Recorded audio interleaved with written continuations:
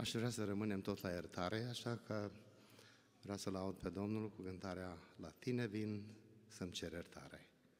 Așa cum sunt, primește-mă și în bunătatea ta cea mare, o Doamne Sfânt, Tu iartă-mă.